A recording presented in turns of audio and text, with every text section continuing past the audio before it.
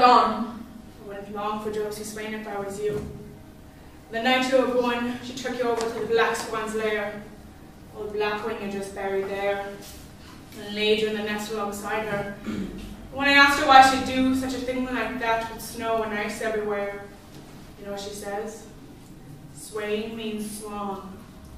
That may be so, says I, but the child died of pneumonia, that child will live as long as a black swan, not a day more, not a day less. And each night for three nights she brought you into the black swan's lair. And each night I snuck in and took you out and took you home with me. And brought you back in the morning we come, before she come looking for you. That's when I started turning against her. You're making it up to get rid of me, like everyone else around here.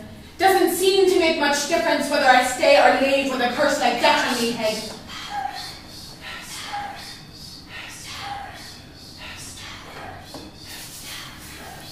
There's ways around curses. Curses only have the power if you allow them. I'm telling you. Hester, you have to leave. When have I ever been proved wrong? Told you just have the one child. Told you the day and hour she'd be born. Didn't I know? You did all right.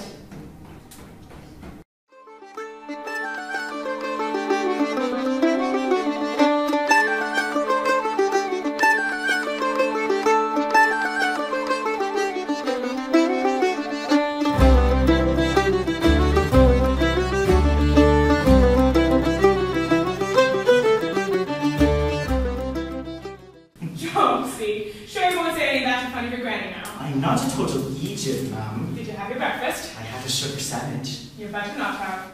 Granny made me disgusting porridge. Did you? Did you wash your teeth? Why do I always have to wash my teeth every day? It's so boring. What do I need teeth for anyway? You need them for snarling at people when smiling doesn't work anymore. Go on and wash them now.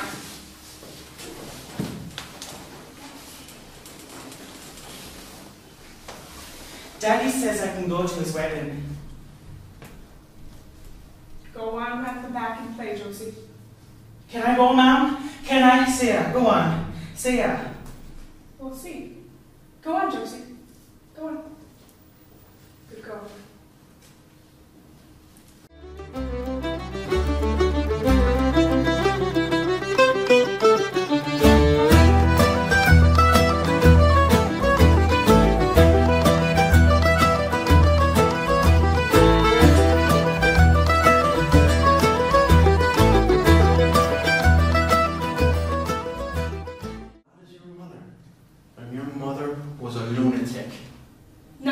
Lunatic about her except she couldn't breathe the same air as ye's all here by the bog of cats. We often breathed the same air, me and Josie Swane. She was a loose one. Loose and lazy and easy. A five shilling whore. Like you!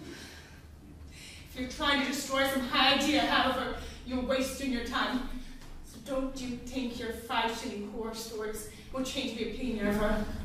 I have memories of cheap talking never alter. Ah, and what memories are they, Swane? I'd like to know if they exist at all. They exist all right, and you'd like to them from me, as well as everything else. But you won't, because I'm stronger than ya.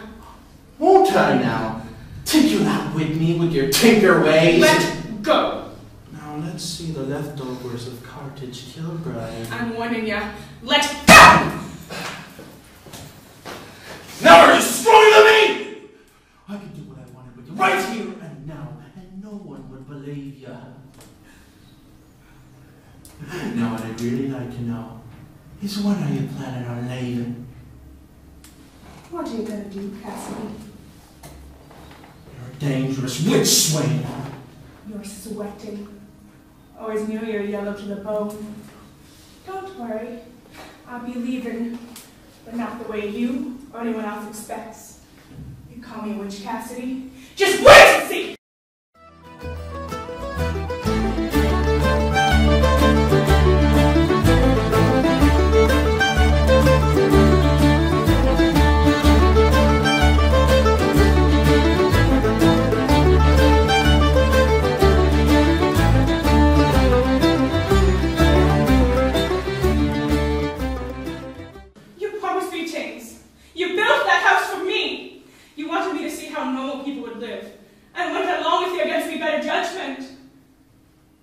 Was to be by the bog of cats.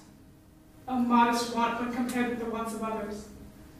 Just let me stay here in the caravan. And have the whole neighborhood making a laughing stock of me. That's not why you won't let me stay.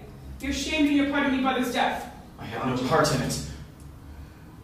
You're afraid I'll tell everyone what you've done.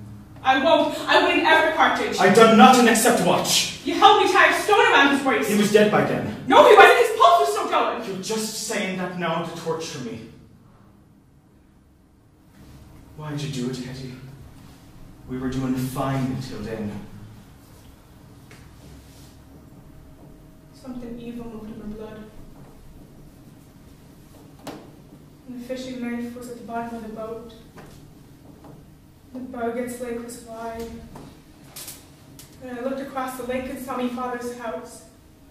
And it went through me like a spear. She had a hole of the life there. How could she when I am part of her?